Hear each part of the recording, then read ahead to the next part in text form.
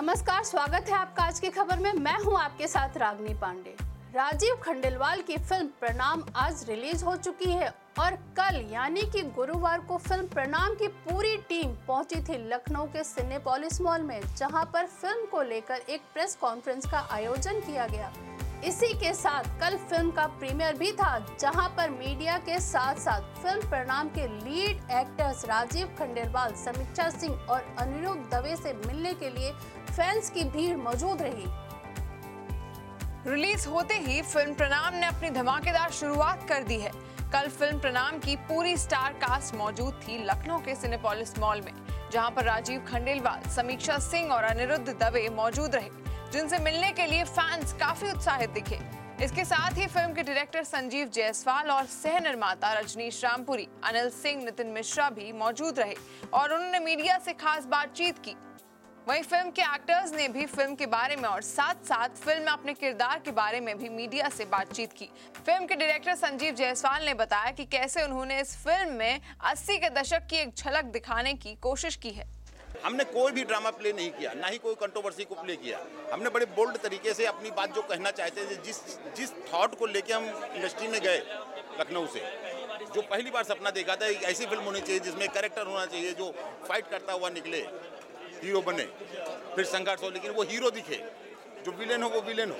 हमें आज भी, हम सबको याद है, आप खुश तो बहुत हो गए वो एक लाइन थी, है ना? आज सिनेमा से वो मिस हो गया। आज वो मिस हो गया कि परिवार के साथ बैठकर हम सिनेमा देखें। आज हर पुराने, उस कल्ट उस कल्ट दौर में आप देखिए, हर फ़िल्म में एक रिश्ते होते थे। रिश्तों का अलग परिभाषा होती थी, दोस्ती होती थी।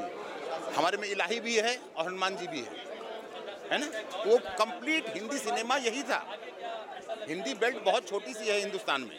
अगर हिंदुस्तान में देखिए तो हिंदी बेल्ट सबसे छोटी है। लेकिन हिंदी जितनी भी हिंदी बेल्ट है, उसकी फीलिंग्स उसके जज्बात, वही है। इस फ़िल्म में आपको किसी कैरेक्टर की याद नहीं दिलाएगा आपको।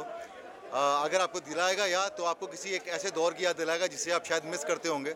अदरवाइज़ मेरे किसी भी कैरेक्टर से कोई सिमिलैरिटी नहीं है। लखनऊ में शूटिंग एक्सपीरियंस कैसा लखनऊ में बहुत ही खूबसूरत एक्सपीरियंस रहा। जो मेहमान नवाजी की जिसके जिस मेहमान नवाजी के बारे में सुना था वो हमें भरपूर मिली। डेढ़ महीना हमने बहुत मज़े किए।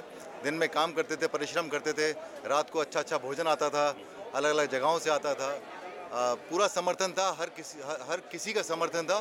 कोई भी ऐसी वाक्य नहीं हुआ या घटना नहीं घटी जो अप्रिय हो।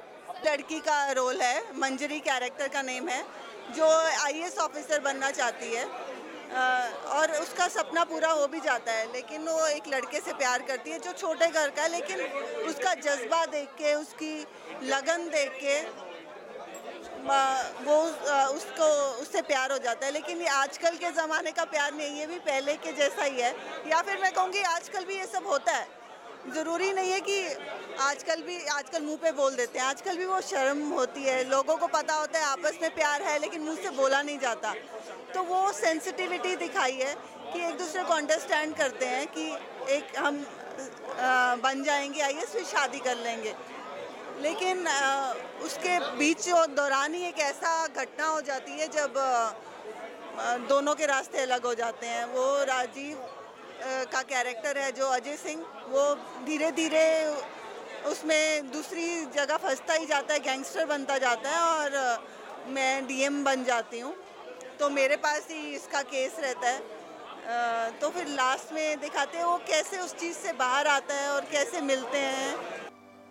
ये थी प्रणाम फ़िल्म की पूरी टीम, जिनको कि आपने अभी सुना। और फ़िल्म प्रणाम आज रिलीज़ हो गई है। और रिलीज़ होते ही फ़िल्म ने धमाल मचाना शुरू कर दिया है। और हमें उम्मीद है कि फ़िल्म ब्लॉकबस्टर होगी। ऐसी खबरों के लिए बने रहिए आज की खबर के साथ। नमस्कार।